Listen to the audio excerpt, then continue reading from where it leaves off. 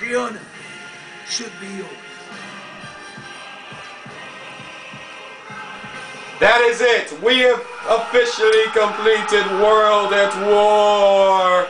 Anyway, hey guys, since ESPN 001 As here. long as you live, the heart of this army can never be broken.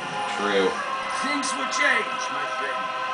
As heroes, we will return to Russia's embrace. For what? Three months until we get stuck in the Arctic and almost die?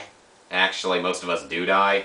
Anyway, yeah, guys, since ESPN 001 here. So as you guys know, I already completed the game, this final mission in co-op, but if you complete it in co-op, you don't get to see the ending scenes or the credits or anything else.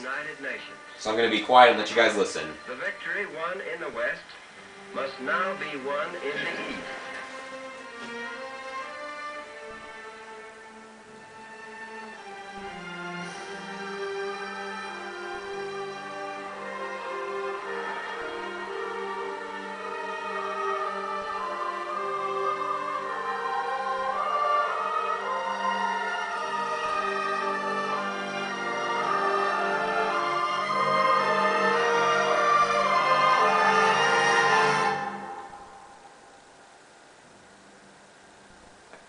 Obviously, the depiction of Hiroshima and Nagasaki being destroyed.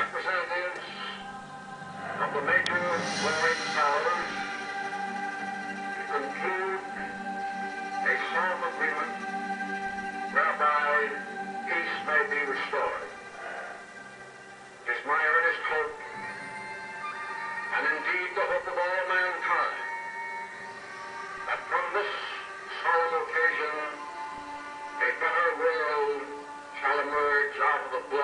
A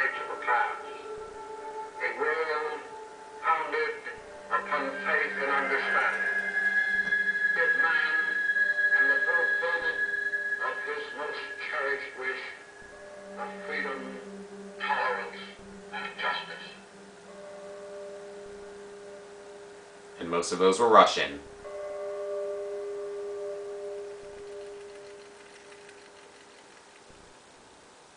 Actually, yes, Russians lost the most of anyone in World War II. I remember learning that back when we studied it in 8th grade.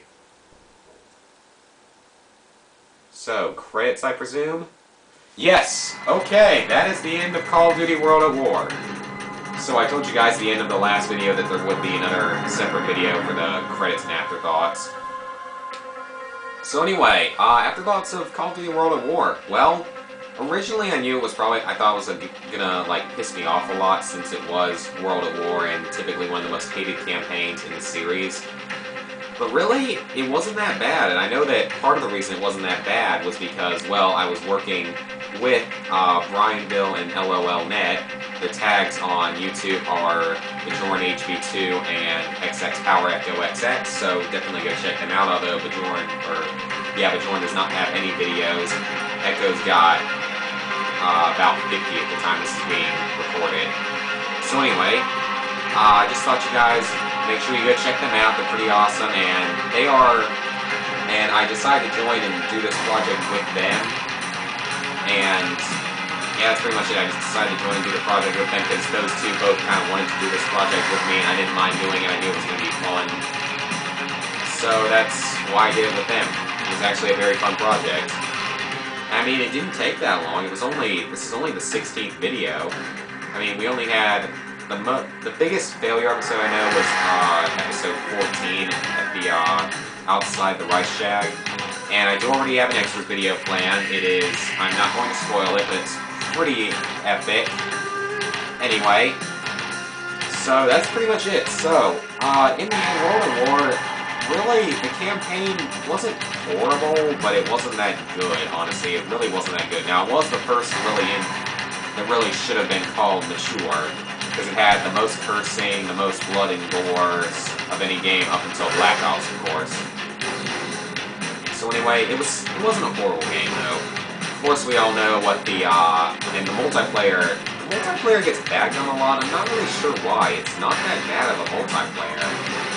It's better than Modern Warfare 2 and Black Ops, or at least Black Ops, probably Modern Warfare 2. It's actually really good. I mean, it's fun. I mean, Martyrdom really isn't that bad, and neither is Last Stand in this game. Not as much as it is in Modern Warfare 2.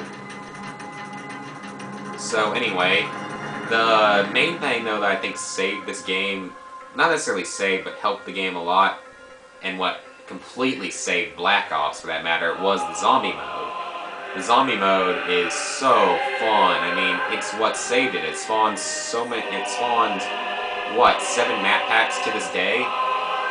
Seven different zombie map packs over two games. It's it's a good. It was a great choice to do. It was a great idea. I'm glad they did it. It was really important. So anyway, in the end, I would rate World at War about probably an 8 out of 10 because I really don't think it's that bad. I think it's actually pretty. So I would rate it about an 8 out of 10. It's a good, it's a decent game. It's better than, it's better than Black Ops, definitely. Because Black Ops is a failure. And it's, in ways, it's better than Modern Warfare 2. But once again, nothing's ever going to come back and beat Call of Duty 4. Nothing will ever beat Call of Duty 4 in the Call of Duty series. It's not going to happen. Modern Warfare 3 isn't going to do it. Call of Duty 9 isn't going to do it. Nothing is. Call of Duty 4 will always be the greatest. I think anyone else can agree with me that Call of Duty 4 was the best. But still, it was an okay game, and it was actually a very fun project. It was one of my shortest projects, along with uh, Homefront, and Call of Duty 4 is one of my shortest projects. At least in number of parts, it's the second shortest. In length, I believe it's the third shortest. I'm not completely sure about that. Music's pretty cool too. Of course, zombies really helped it, just like zombies saved Black Ops. And that's pretty much it. So, future projects. Well, the time this is going up, Destroy All Humans 2 is winding down, getting close to the end. Once Destroy All Humans 2 is over, we look forward to Uncharted 3. Oh yeah, it's gonna be a beast. It's gonna be blind, and it's gonna first video is gonna come out the afternoon or night the game comes out. I can't guarantee exactly when. Matt Lowe. That's interesting. We actually have a guy in my grade named Matt Lowe. Wow. Yeah, that's actually kind of weird. Okay.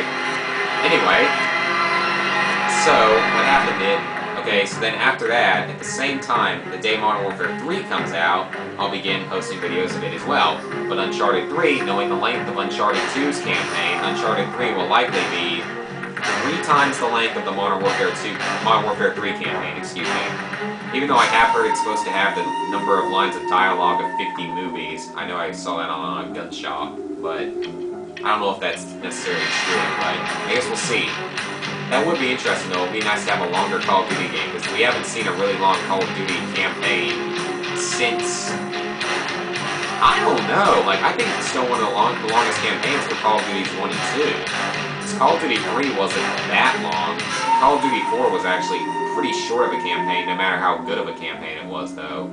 It was actually fun. This campaign really isn't that long at all. Modern Warfare 2 is insanely short. Probably the shortest of all. Black Ops. Black Ops has probably had the longest since the couple of original Call of Duties. And one of the better campaigns in the series, probably the best since Call of Duty 4 in my opinion. Man, we're already running on 9 minutes. Credits, it's a long credit scene. The music isn't as good as the credits of Black Ops. Anyway.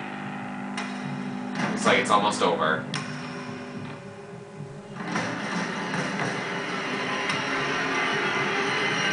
Yep, special thanks. Additional development on Blowtorch and Corkscrew. Oh no, don't tell me now I have to watch Activision's credits too. Oh wait, yeah, we do have to do that. I think I remember that happens in like every Call of Duty game that Activision's been in. It has like the primary developer and then it has Activision. Okay, anyway, running out of stuff to talk about. I mean, after those two projects though, we run into my longest, we're running into sort of a problem after that, is that, don't worry, I have plenty and plenty of games to do. The thing is, I'm trying to decide how I want to do Fallout 3, because I want to do it immediately after, because it's one of my favorite games of all time, and it's going to be one of my favorite projects.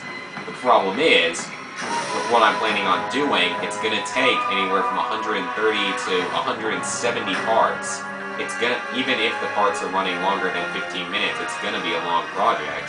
Because I know that uh, when SSO did his walkthrough Fallout 3, his ended up being about 130 parts. And he did do all five DLCs, but he did not do all side missions, and I plan on doing that. I guess the major difference, though, is that he did not... What should I think of? Uh, his parts are always like less than 15 minutes. Are usually like 10 to 12, so maybe it won't be that as long as I plan. Maybe it'll be close to 130 or so. But either way, that's a long time, and that's four months. I'm posting every day, that's four months of video for one video a day, so it's gonna be a long project. So I'm probably gonna end up doing a side project with it, probably a couple side projects during that time. More likely than not gonna be uh, Destroy All Humans Path of the Furon, Mercenaries Playground of Destruction, and Dead Rising 2 are probably to be the three. yes, I just got Mercenaries Playground of Destruction. It is awesome! Anyway.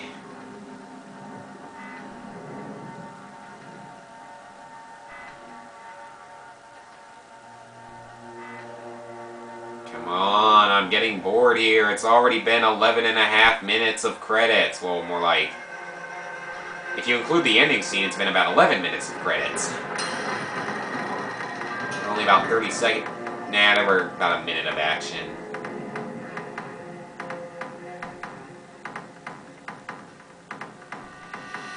Oh, it does bring in the good music. I forgot about this part. It does bring in the good music from uh, Black Cats.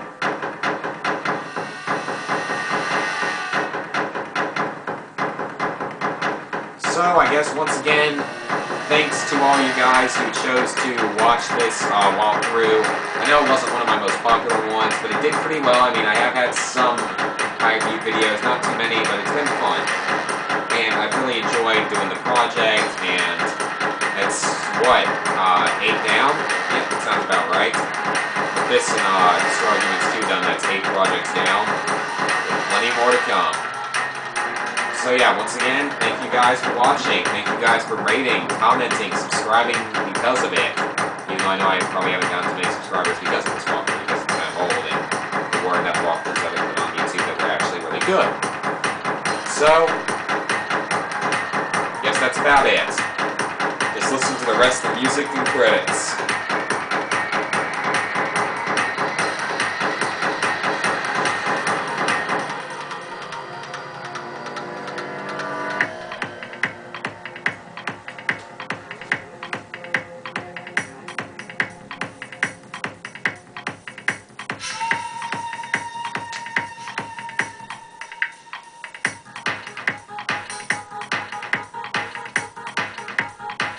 You know, I really have to go to the bathroom right now. I know that you guys don't care about that. I really have to do that, but I'm afraid that if I go, I'm going to end up missing the uh, important scene. That's the only reason I'm going through these credits, is for the ending scene.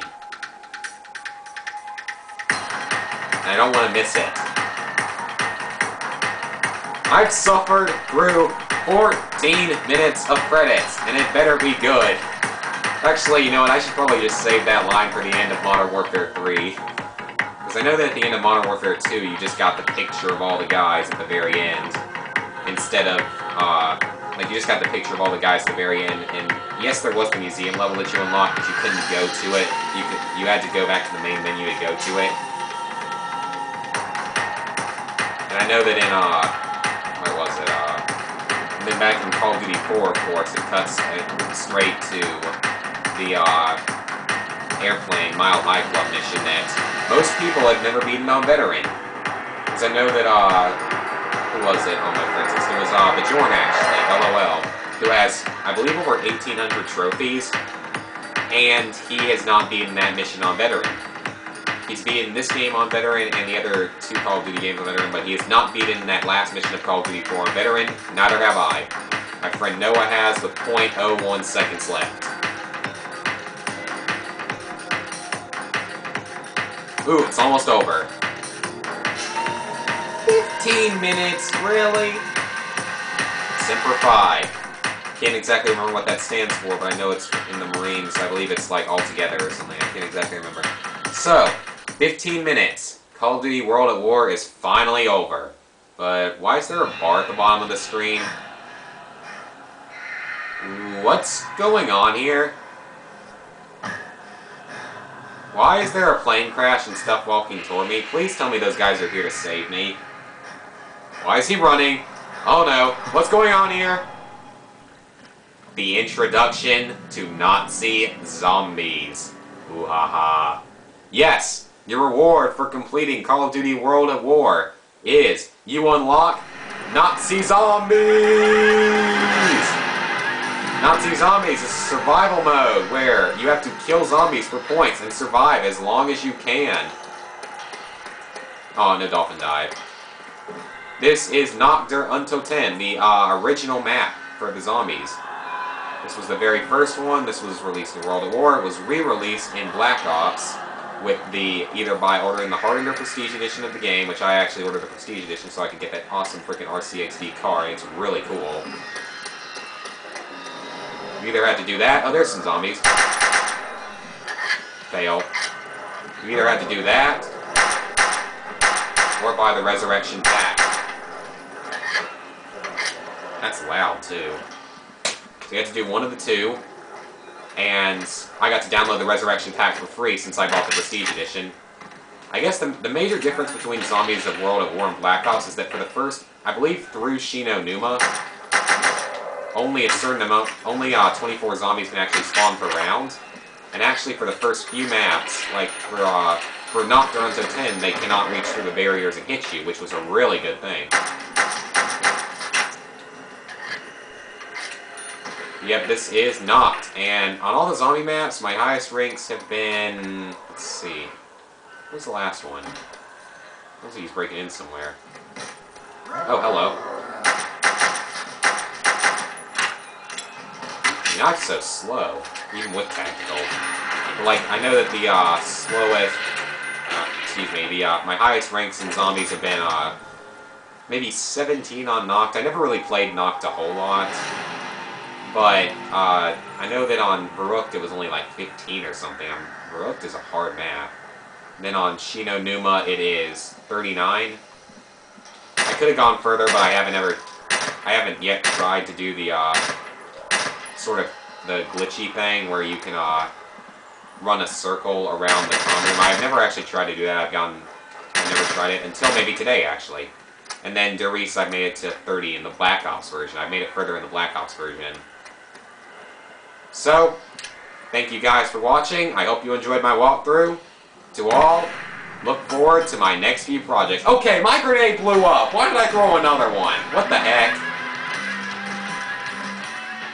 So, I'll see you guys for Uncharted 3 and Modern Warfare 3 just as soon as we finish Destroy All Humans 2. See you guys then.